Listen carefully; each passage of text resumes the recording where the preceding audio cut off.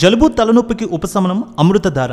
ఈ అమృతధార అన్ని ayurvedic medical షాపుల్లో దొరుకుతుంది. అమృతధార హోల్సేల్గా కావాల్సిన వారు స్క్రీన్ మీద కనిపిస్తున్న నెంబర్కి కాల్ చేసి సంప్రదించవచ్చు. ఆన్లైన్లో కూడా మీరు ఆర్డర్ చేసుకోవచ్చు. ప్రభాస్ హీరోగా నటించిన సలార్ మూవీ ప్రస్తుతం బాక్స్ ఆఫీస్ దగ్గర సెన్సేషన్ క్రియేట్ చేస్తోంది. ప్రశాంత్ నీల్ దర్శకత్వం వహించిన ఈ చిత్రం డిసెంబర్ ఇరవై రెండున పాన్ ఇండియా స్థాయిలో గ్రాండ్గా విడుదలై బ్లాక్ బాస్టర్ హిట్ అందుకుంది. సౌత్ నార్త్ అనే తేడా లేకుండా అన్ని చోట్ల భారీ వసూళ్ళు అందుకుంటోంది. మొదటి రోజే వరల్డ్ వైడ్గా నూట డెబ్బై ఎనిమిది కోట్ల గ్రాస్ను అందుకుని రెండు వేల ఇరవై మూడులోనే అత్యధిక ఓపెనింగ్స్ అందుకున్న సినిమాగా సరికొత్త రికార్డు క్రియేట్ చేసింది. ప్రస్తుతం అన్ని వర్గాల ఆడియన్స్ని ఎంతగానో ఆకట్టుకుంటోంది ఈ సినిమా.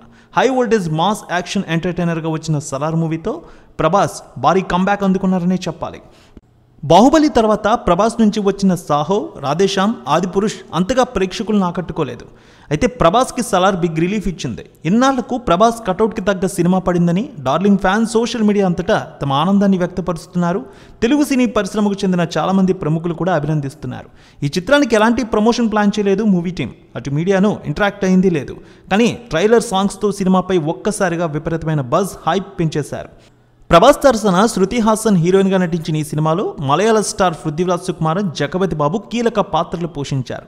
అయితే ఈ సినిమాలో ప్రభాస్ పృథ్వీరాజ్ చిన్నప్పటి పాత్రలో నటించిన చైల్డ్ ఆర్టిస్ట్ మంచి నటనను కనబరిచారు. ఒక్కసారిగా పాపులర్ అయ్యారిద్దరు తాజాగా సలార్లో పృథ్వీరాజ్ చిన్ననాటి పాత్రలో కనిపించిన చైల్డ్ ఆర్టిస్ట్ కార్తికేయ దేవ్ అతను ఓ ఇంటర్వ్యూ ఇచ్చారు. ఈ ఇంటర్వ్యూలో అనేక ఆసక్తికర విషయాలు వెల్లడించారు. ఈ ఇంటర్వ్యూలో సలార్తో పాటు తనకు మరో సినిమాలో కూడా ఛాన్స్ వచ్చిందనే విషయాన్ని కూడా వీల్ చేశారు. ఆయన చెప్పిన విషయాలు ఏంటో చూద్దాం.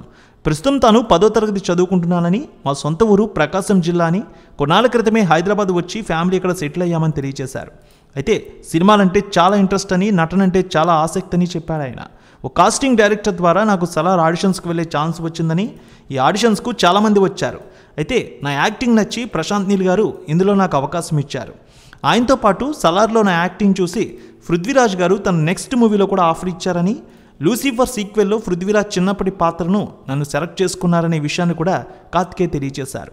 ఈ సినిమా కోసం నెల రోజుల పాటు రిహార్సల్ చేసి పదిహేను రోజుల్లో ఆయన పాత్రకి సంబంధించిన షూటింగ్ని కంప్లీట్ చేశారని కార్తికేయ దేవ్ ఇంటర్వ్యూలో తెలియజేశారు.